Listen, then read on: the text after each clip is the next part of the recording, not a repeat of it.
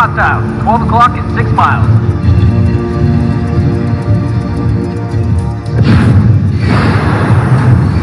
What is this tech they're looking for anyway?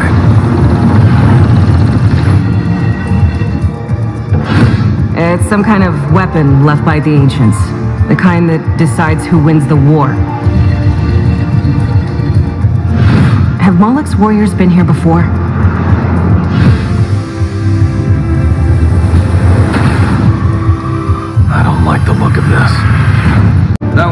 Beyond,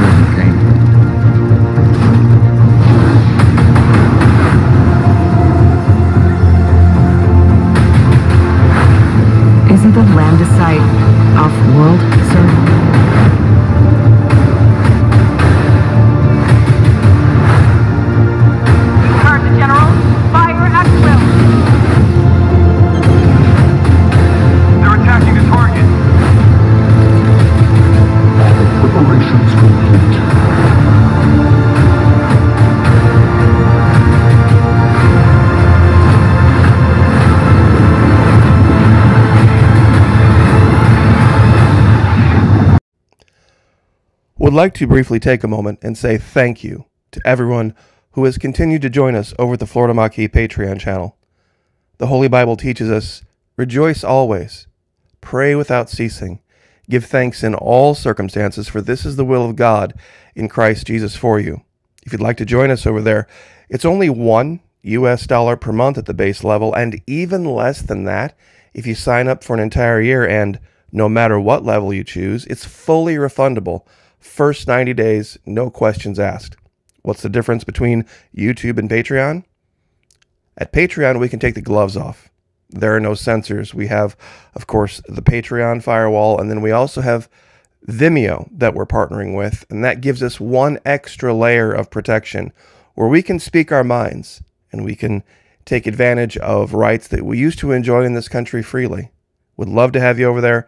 There are hundreds of exclusive videos never before seen here on YouTube. Please, if you have the ability, would love to have you over there. You won't regret it. God bless all of you, and thank you so much. I have some new maps and some new imagery to show you guys from this region that we've been looking at, this Magallanica or Magellanica, however you want to pronounce it, near Tierra del Fuego, the tip of South America, that I have alleged wasn't nearly as far away from Antarctica in 1600 as it is now. Now, the reason I start with this particular map is that it's from 1850. And the most important thing on this map is that at the tip of South America, at the bottom, it doesn't show any other land. But more importantly, it's a much more detailed, accurate map of the region. I'm a big believer in form follows function. We don't see all of the crazy images on this map. I mean, we see some of trees and Indians and certain animals, very calm, but nothing like what we saw in maps from the 1500s. Now, how they created maps in the 1800s was virtually the exact same way they created maps in the 1500s. Why so different? The reason, of course, has to do with technology. Maps in the 1500s were not only meant to show the lay of the land, so to speak, but what could be found there. And that's what I'd like this video to be about. They found very different things. And if you were going to send a warning to someone about what they could find, this would be the best way to do it if they were going to travel to the region. Now, the ability to defend yourself in 1850 was very, very different than 1550. We had um, weapons. I mean, modern, everyday types of weapons that you and I would define guns, basically. Now, in this older map, though, there is something that I would like to show that I see repeating over and over again. They show these very tall, light skinned um, inhabitants that you don't see down there now, but almost all of them have bows and arrows, clubs and shields. Not very advanced even for the 1500s. I mean, in the 1500s, Europeans had uh, pole arms and axes and cutlasses and broadswords and all this kind of stuff. But there's this animal right here. And it's a representation of something down there that even science hasn't been able to define or find. It's called the Succarath. And the description of it is just defies belief. Face of a man, body of a lion, giant tail that covered its young that resided on its back, fierce like nothing else, uh, deadly, and the only way to trap it is dig a deep pit and cover it with brush and hope it falls in, and then you could uh, spear it or shoot it with arrows to death. Just beyond anything that you could describe. Think Tasmanian devil meets giant sloth with the tail of a peacock. It's just strange. We looked at this map before yesterday, and once again, the reason I bring it up is it shows these giants, but with clubs, shields, bows, and arrows. Now, if we would think, wait a minute, these aren't these giants supposed to be from South America or from Antarctica, and wouldn't they have been incredibly advanced and have all this technology? Antarctica might have not been home to just one race of people. There might have been multiple races down there with multiple levels of technology, just like we see today. If you would, Venezuela is a great example.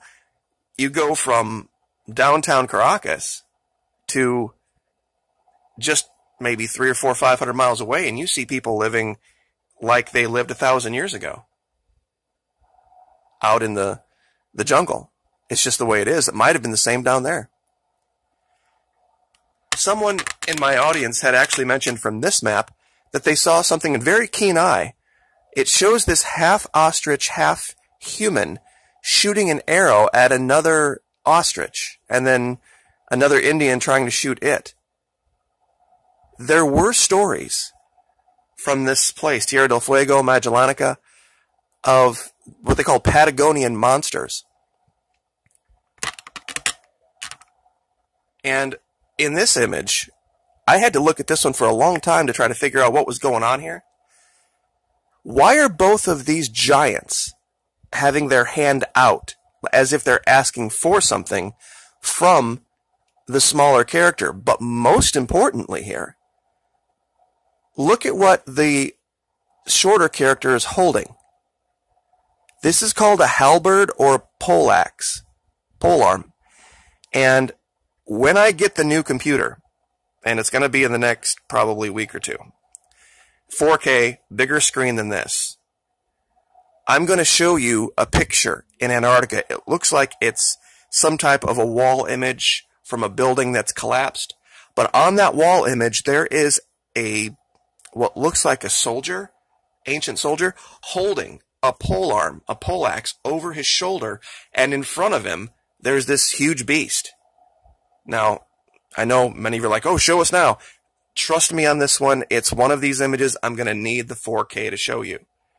I can see it. If I had you sitting right here next to me, I could show it to you. If I could buy you a 24 inch screen, you could see it. But there's just no way to show it without getting that level of detail. So I'm going to wait to do that. But pole arms and pole axes are not things that are found in South America, not in this time. They had to have been brought from Spain. And once again, we don't see these giants wearing very much down here, and this region is cold. Now, I mean, it is really cold. There would be no way if the weather were in the 1500s in this region like it is now that you would have seen anybody dressed like this. They'd die from hypothermia, giant or not. And in this one, this is the one that should really make you take notice. Now remember, these maps were not meant to just show the lay of the land and how to get around, but what you could find there. I want you to look up here in the corner. These aren't horses. This is some kind of what we would classically, I guess, refer to as a dinosaur. Four legs, body, giant neck, and this is as close as I can get this map to zoom in. Let me see if I can get it closer. Hold on.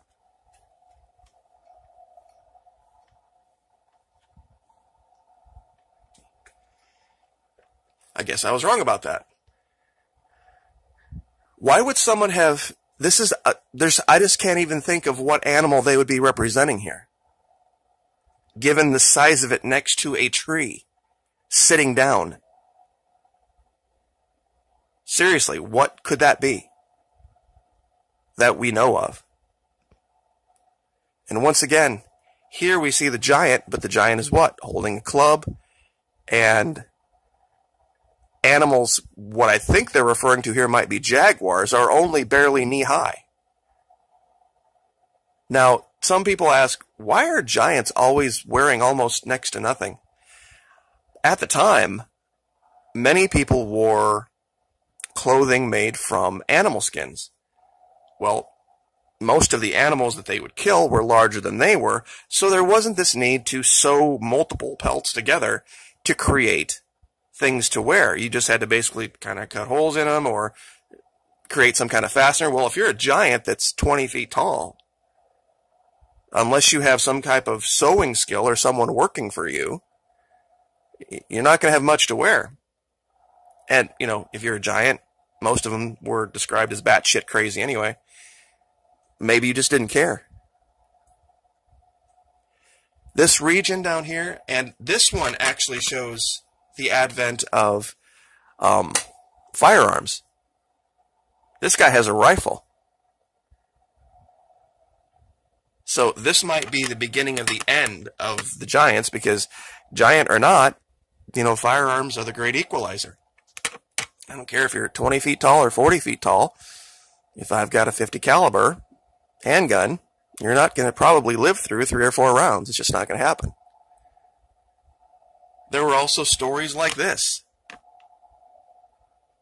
which is, you know, almost unbelievable. But once again, the most important thing about this picture is look in the background, not these two in the front, but the two in the background right here in the middle. Look at the size of them versus the opening of the hut. You would think if someone was going to create a hut, they would create an opening that they could walk through. Well, these creatures in the background clearly didn't create this hut. So if this is five feet, six feet tall, these things would have to be, what, eight, nine feet tall? I mean, it wouldn't have been hard for the artist to create this cabin in the background a little bigger, or create these things smaller, just a little bit, just to show if they were really. I don't think the scale is wrong here. It wouldn't have been that difficult to put it to scale if this were what they were trying to describe. Now, a couple locations in Antarctica I wanted to show before we get out of here. I know we're already over 10 minutes. Shadows. Shadows from above are much easier to see than the actual thing. And the reason I bring up this picture, it's a classic picture of camels in the desert. You can see the shadow clearly, but look at the animals that are casting the shadow. If you took all the shadows away and I just showed this little kind of lighter brown um, region and said, look, it's a camel, most of my viewers would go, no, it's not. It's just a pile of dirt. It's just a different color amount of sand and some strange thing. It's not a camel. Without the shadow, you wouldn't know. Now, let me show you something in Antarctica. In this region, this is the Mertz Ninnis Valley where there are dozens and dozens of finds. This has this structure right here, this shadow. There is no good explanation for that other than an antenna array of some kind. Nothing out here. If this is truly just wind, ice, rock, and snow, and the wind blowing at this incredible rate that would sandblast anything, nothing natural this skinny and tall would survive. Just no way. And you can see stuff like this all over in this region. And of course, I'll give you the link to it. There's also, very close to this, I think, a fourth, what they call tic tac structure. Now, this comes from the descriptions from the Navy pilots very re- recently in the Nimitz incident. They talk about these craft they encountered that were tic tac in shape, white, oblong, round, 9 to 14 meters or 30 to 46 feet long. And you can get that right from the wiki from, you can just look up, uh, Nimitz UFO incident and you can get that information. That's all over YouTube too. So anyway, I just wanted to show this. It's discrete, meaning that it's different than its surroundings. It has this strange purple glow to it. But when you measure it, and I'll show you this, we're going to go ahead and measure in, we'll do meters first.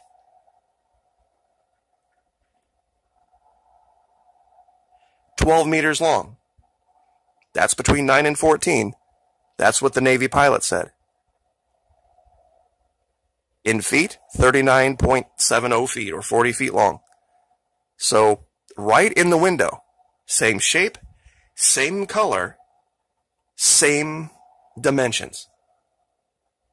Setting on the ice in Antarctica, I think this is just more proof that what we're seeing, these aren't coming from other planets. That's why Mars is such a waste of time. If they have that much time, money, effort, and science, they need to be divining what's going on down here first. Instead of. Because there's going to be, well, I'm just going to shut up there before I reveal something I can't reveal. Anyway, like, share, subscribe. Thank you so much, and we will see you next time. Would like to briefly take a moment and say thank you to everyone who has continued to join us over at the Florida Maquis Patreon channel. The Holy Bible teaches us rejoice always, pray without ceasing, give thanks in all circumstances, for this is the will of God in Christ Jesus for you. If you'd like to join us over there, it's only one US dollar per month at the base level, and even less than that if you sign up for an entire year. And no matter what level you choose, it's fully refundable. First 90 days, no questions asked. What's the difference between YouTube and Patreon? At Patreon, we can take the gloves off. There are no censors. We have, of course, the Patreon firewall, and then we also have Vimeo that we're partnering with, and that gives us one extra layer of protection where we can speak our minds and we can take advantage of rights that we used to enjoy in this country freely. Would love to have you over there.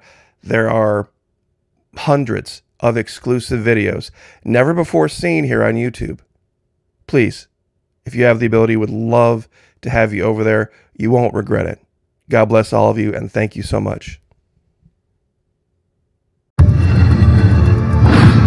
Hostile, 12 o'clock and 6 miles.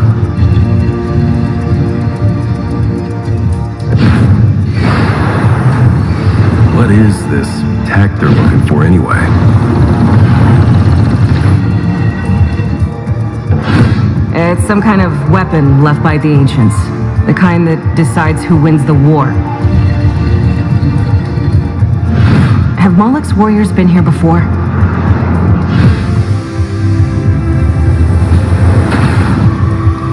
I don't like the look of this.